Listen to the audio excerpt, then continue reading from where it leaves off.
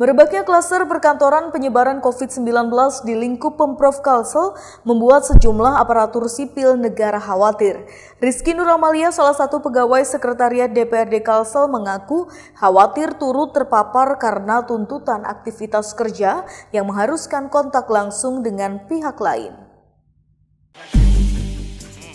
Dengan terbitnya surat edaran dari Sekretaris Daerah dan instruksi Sekretaris DPRD Kalsel terkait pembatasan masuk kerja bagi pegawainya membuat Rizky Nur Amalia sedikit lega.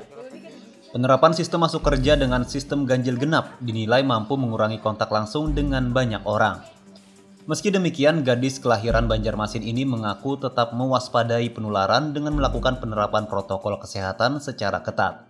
Pasti takut iya, takut karena pasti kan ada orang tua adik segala okay. macam. Itu pasti nakutin banget sih. Cuman nggak bisa diterukur oh karena PNS itu gitu nggak bisa. Paling gampang itu yang pasti masker kalau keluar rumah masker sampai hidung nggak boleh turun dari hidung. Terus juga cuci tangan yang rajin okay. pakai sabun. Kalau bisa dengan air air yang mengalir daripada pakai sanitizer lebih efektif pakai sabun. Terus juga pakai betadine kumur juga bisa Akibat merebaknya klaster perkantoran penyebaran COVID-19 di lingkup Pemprov Kalsel, rencananya pihak Sekretariat DPRD Kalsel akan segera melakukan swab massal bagi pegawainya.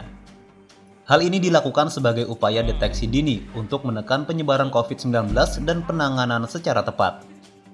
Dari Banjarmasin, Zainal Hakim, iNews melaporkan.